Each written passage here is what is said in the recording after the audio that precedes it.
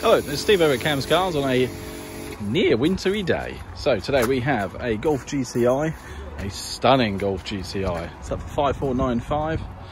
Beautiful colour this one. It's literally just been valeted. Uh, so I've just done the internal and external photos of this one. Look at these alloys, and they're stunning. Uh, it's even got performance tyres on it, as you can see. Uh, this has been a very much loved car. Uh, nice 18 inch alloys on this one. There we go, it's a two litre, obviously. Uh, it's 5495, 70,000 miles on the clock with full service history. Uh, MOT's just been done. So it's now got a year's MOT on it, no advisories. Look at that colour. It is lovely. I think the guys polished it as well just to get the depth of that colour to pop it out. That's very nice. Reverse parking sensors on these ones.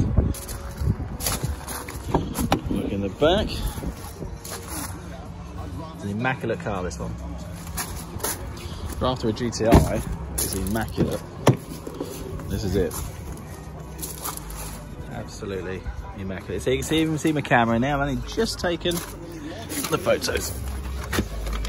Let's turn for a second. So, 73,696.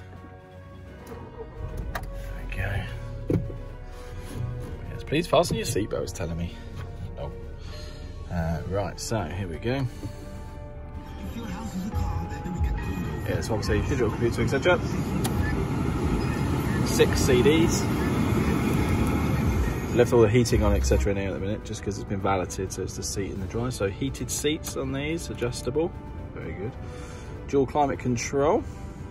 Um, but yeah, there we go. And, oh, there we go. Amazing. So I hate dual climate control, I do. It's OCD. I mean, look at that. 27, you're on high. Can't live. Can't live. Press the dual button. There we go. Adjust them at the same time. See? Happy life.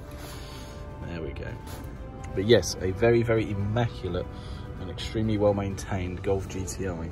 Uh, it's got the additional tyre, tyre monitor pressure system. There we go.